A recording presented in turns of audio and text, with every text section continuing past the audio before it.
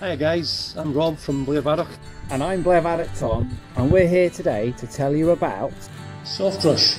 Uh, Juncus effusus is its Latin name, and here we're seeing it in its winter state. Uh, it's a bit spindlier than it normally is, but you can see the long green bendy stems that we talked about in the info card. Uh, and again, these are the ones that you can pick and peel to reveal the pith inside. Uh, and this was our first form of candle.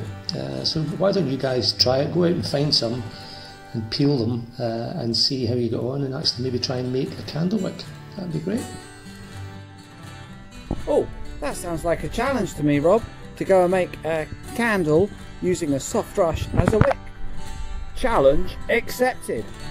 So here we are guys, here is a piece of soft rush that you can see and inside the soft rush. And I'll just peel a bit off, oh might need to peel a wee bit more off, is a soft white pithy stuff, as you can see just here, peel it out, here we go, and this pithy bit in the middle is very soft and spongy and it's great for absorbing water and that's why you find it in marshy places and it's a good indication that you're going to find the ground underneath is going to be damp and we're going to use this uh, as the wick for a candle. Now candles used to be made from tallow. Now tallow is traditionally the fat that comes from uh, a deer and it's the fat which is just under the skin. It is edible, but it doesn't taste very nice. Uh, but in a survival situation, you would eat the tallow. But more often, uh, when people used to get a, deer and they'd skin the deer, they would take the tallow fat off and they would use that fat um, to make a candle. What they would use for the wick is they would use the centre of the brushes. We're gonna we're gonna see if we can make one of those back at home. So what I've collected together is a wee little glass jar.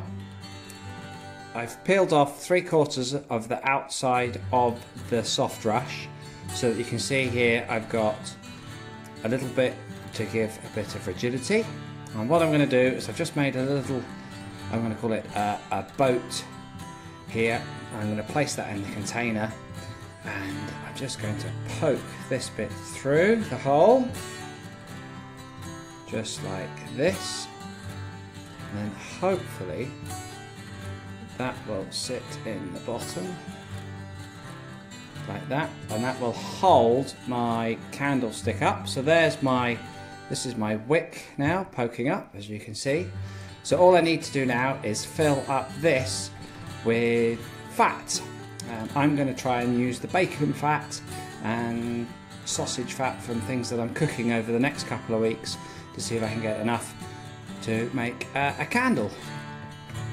So for the last couple of weeks I've been collecting the fat from the food that I've been cooking. So I've got some pork steaks here, I've finished cooking them and uh, what I'm going to do is I'm just going to drain the fat off into my tallow candle there. There we are, just topping it up.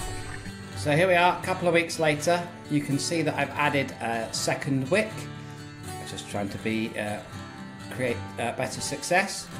Um, that's full of bacon fat and sausage fat and we're now ready to see if we can light our tallow candle. Now I'm going to use some matches to light my tallow candle Remember, if you are using matches or lighters, then you need a responsible adult with you. So I'm just going to strike the match on the edge of the box. And then we shall come down here. Let's see if we can get one of these. Uh, like, oh, yeah.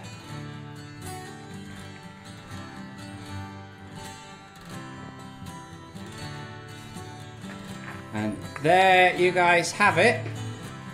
A candle made of animal fat. And it's one of the first aromatic candles.